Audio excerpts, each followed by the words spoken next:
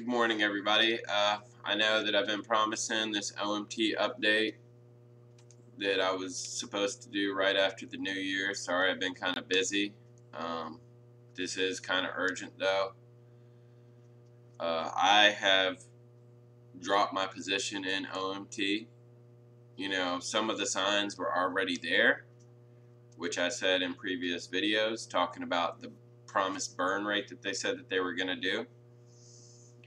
Uh, if you go to their to their website, they speak on a burn that they did, I guess back in what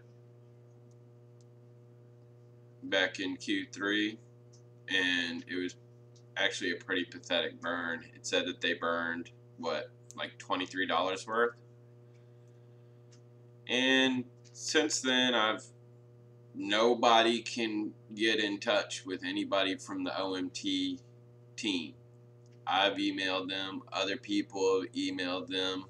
I've never tried to email, you know, a crypto before, but for this, I was genuinely interested in the project, but I had some concerns. So, you know, in the email, it's like, hey, what's going on with this burn? What happened with the last burn? You know, are you guys legitimate? And the answer is no, they're not. They did do their, you know, their New Year's burn, and it was pathetic. All right.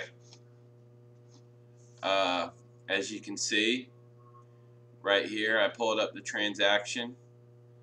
They did do a burn of 367,000 OMT tokens, which is worth $7.77.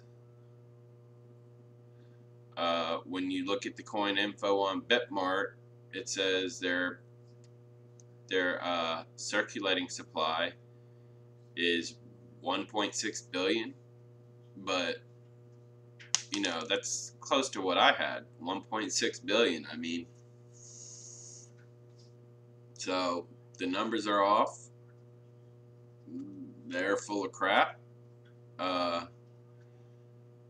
and this last burn, oh, let me pull that up or drop this down a little bit. It's, look at that burn. $7.77 burn. That is a joke. Get out of here with that. You, you guys are done. And ever since New Year's, I think other people have seen the scam and people are dropping the coin, including myself.